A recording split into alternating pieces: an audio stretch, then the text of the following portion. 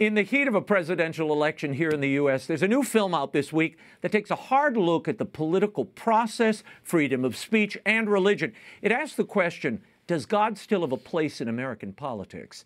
God's Not Dead. In God We Trust premieres Thursday, September 12th in theaters from Fathom Events. And there's a cameo in the film by somebody you might recognize. But here with me in studio, in our, in our DC studio, a few stars of the film Scott Baio, David White, and Samaire Armstrong. Thank you all for being here. Uh, I'm going to start with you, David.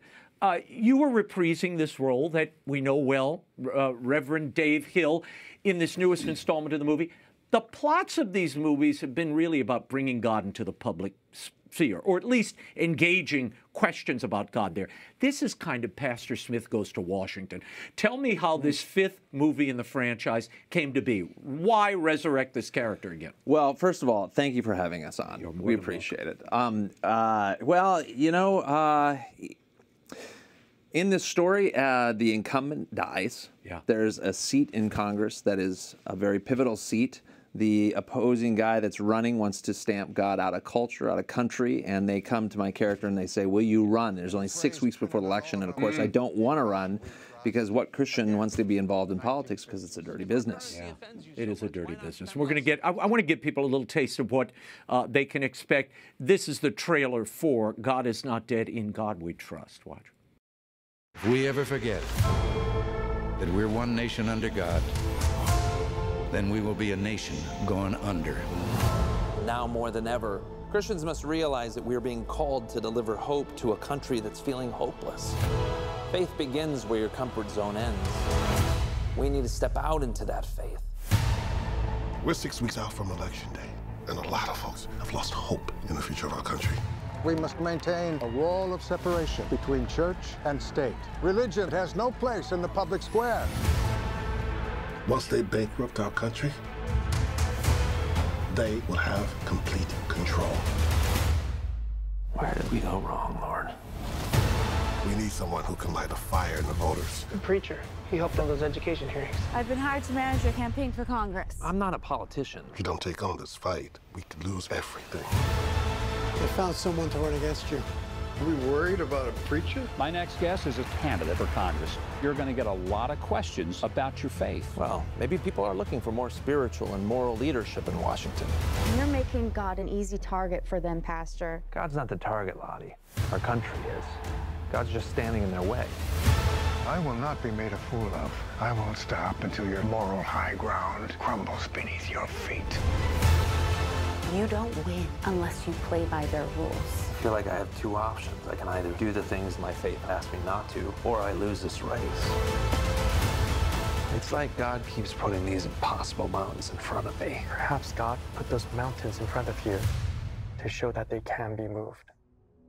Let's pray for David, guys. This contest is about shaping the future of our nation. keep your boy in line. Because like his God, I can give it and I can take it away. How do you know it's God?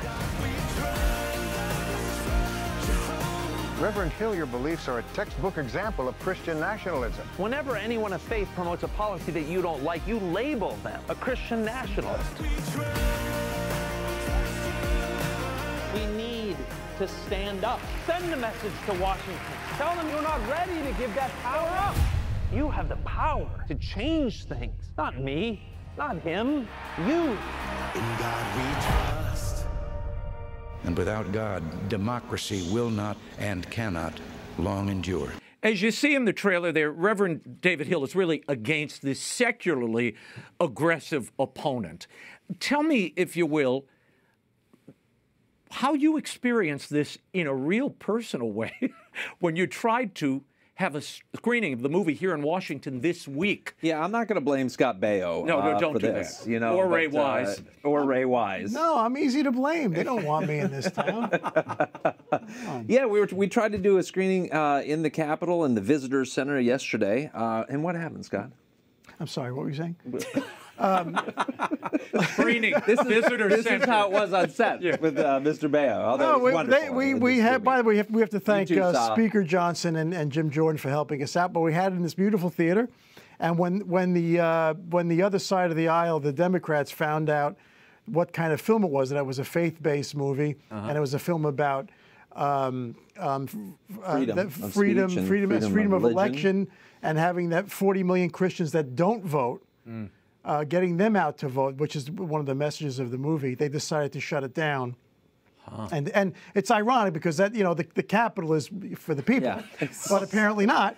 So they just said, well, we're not going to, we're not, gonna, you're not going to be able to show the, this movie in this uh, room, and they threw us in some other little dinky room. Yeah, you're in a conference room Yeah, now at the with- Rayburn with- building, Yeah, which is really enraging because that visitor center, first of all, I was opposed to even having a visitor center. The entire Capitol is your visitor center. Yeah, well- But they didn't want to mix with the grubby or outspoken voters, so they wanted to contain everybody, and they spent billions digging a hole on the north lawn of the Capitol to build this visitor center. And now they're saying people can't have a freedom of speech or freedom of religion in that space. It's kind of ridiculous. Yeah, I so they say. boxed us out, and, Yeah. and it was not because because of the message of the movie. Horrible. Scott, tell me what drew you to this project. You play Wesley, who is uh, the campaign manager to State Senator Peter Kane. Well, they paid me a lot of money, Ray. I mean, what, what, what are you crazy? Aside from the joking. I'm joking. Um, I well, first of all, I like the other movies. Uh, David is a friend of uh, of of my of me and my family. We, our our kids go to the used to go to the same school back in Los Angeles. Uh, but I read the script and I thought it was just a fun role, and I and I loved the message of the movie, uh, which is that 40 million Christians don't vote, and I'm sure that a large percentage of those people complain about things in the country. And I thought, well, if you people would get off your rear ends and vote, you might affect change, the change that you're looking for. And and um and and because I have a daughter, I want her to grow up in the country that I grew up in, Ray. Yeah, I want to show people a little clip. This is uh, you and Ray Wise. Great scene. Pete Hill just got real money, which means real media buys and real influence. Now he can afford staff, rallies, office space. Be a mistake to underestimate this guy. People love an underdog story. So what do you suggest? Senator, great speech. I suggest we put a debate on the books and end this, but we have to control it. I like the podcast. That was child's play. This is where you finish him. Wow, Charles is still in charge. Hardball politics. Tell me about Wesley, and did you enjoy playing the heavy? We, we really don't usually see Scott Baio in a role like this. It's more fun than you could possibly imagine. It, it is because you have Why? a lot. Of, because you have a lot of freedom. You could like. There's a scene with Samaire who's going to come on here, uh, where uh, we, we we have a we have a history in the movie, and I I would say things to Samaire as her character things, and you know she would look at me and I'd say, well, I'm just going to throw it out there because I start making fun of her weight because it's, I'm just a creep. Yeah. And so when you're a bad guy, you can say pretty much anything, and the director can go, it, you know, just take it back a little bit. Pull that back just so a bit. You, ha- you have tremendous freedom. How do you make fun of Samaire's weight? Look at her. I mean, my gosh. You, you, She's you- you- beautiful. It looks like she spends every minute in the gym. Just look at her. Samira, I haven't forgotten about you. Uh, in God's Not Dead, you play Lottie, who is Reverend Hill's newly appointed campaign manager. Um, I, I'll, I'll play a little clip of this, and then we'll, we'll talk on the back end. Watch. I didn't run because you or Daryl talked me into it. I believe God asked me to. How do you know it's God? Well, you know someone long enough, you begin to recognize his voice. But sometimes knowing it's God is easier than actually listening to him. Well, why wouldn't you listen to God if you knew it was Him?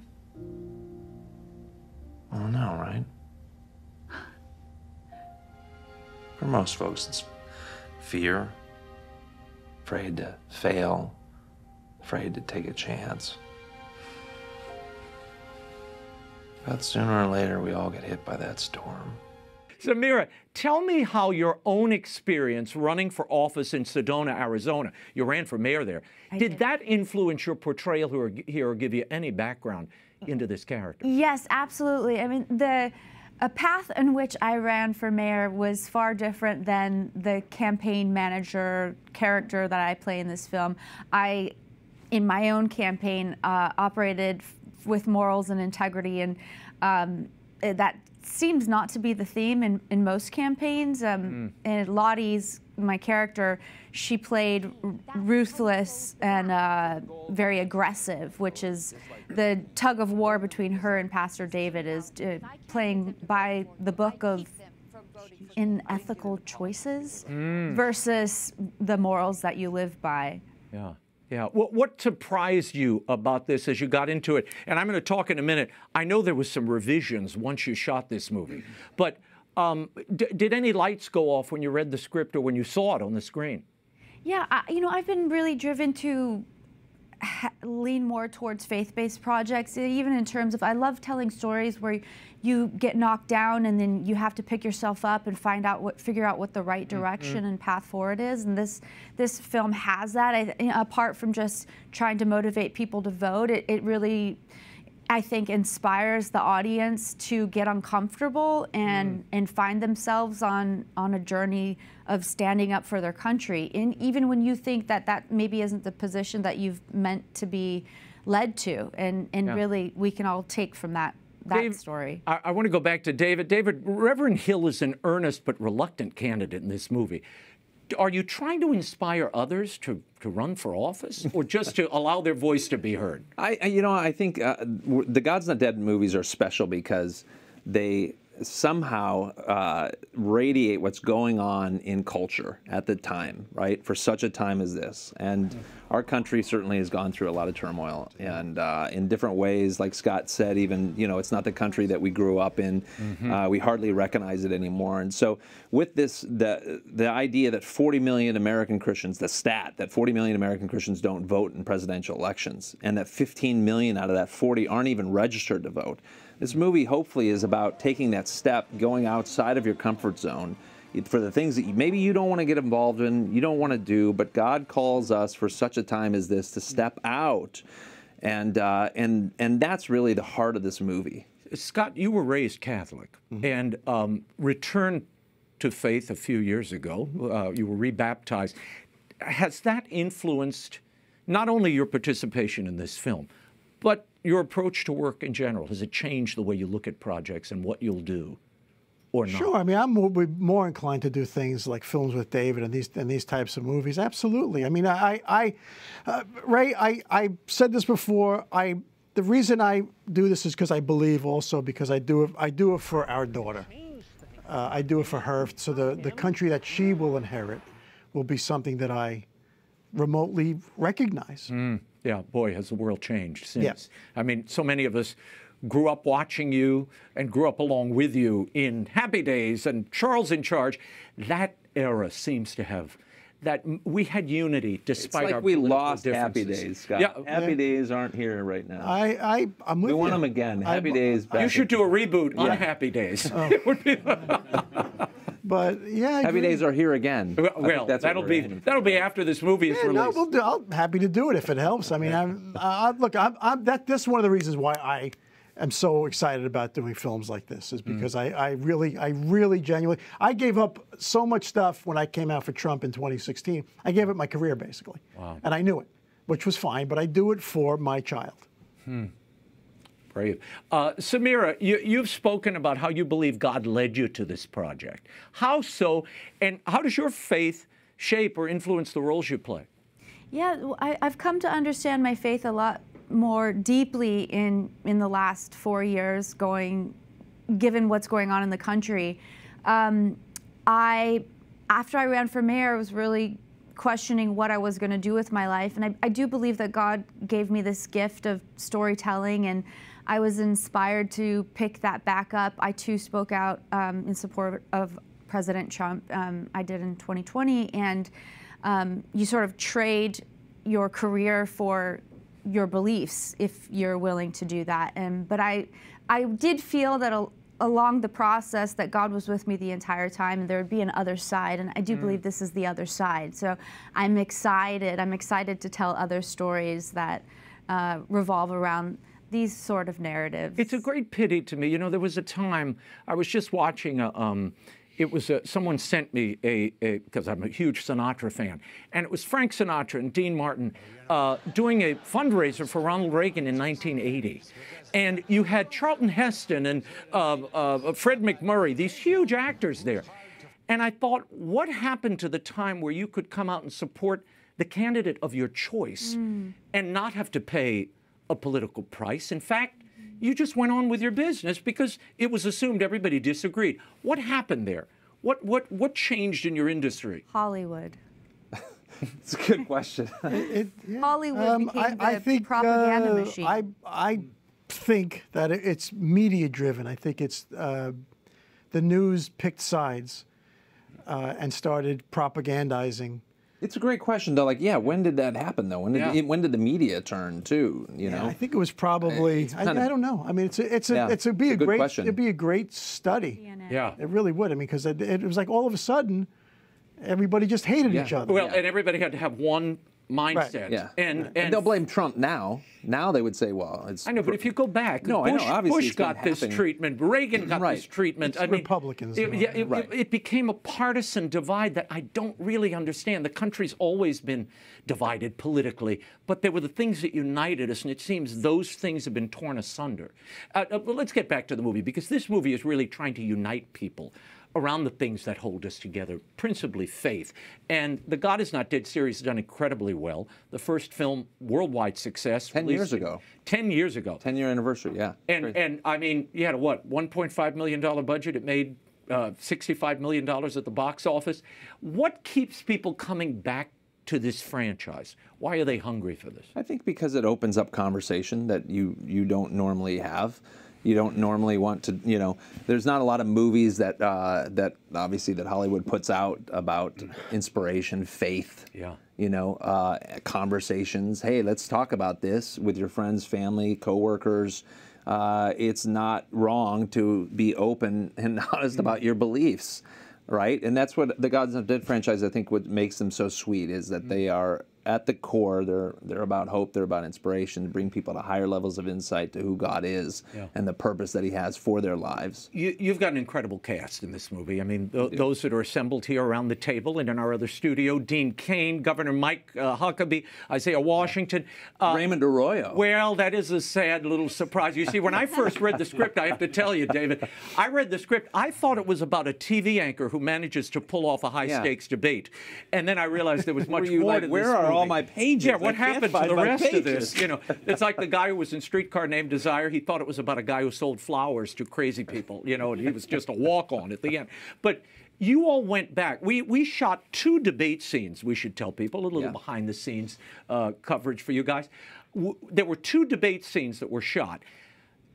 The first one was scrapped because you rewrote the script. What did you add? What, what did you What did you add to the script? Well, first and needed? foremost, we added more Raymond Arroyo. No, you less Raymond Arroyo. One scene was totally chucked out. You redid the debate scene because you wanted to kind of Yeah. Well, I mean, you know, clash. it's like every single time you wake up in in the morning, you you realize there's something different in the news, right? And so the movie was uh, Tommy Blaze, who's written the last three of these, and he's such a great writer.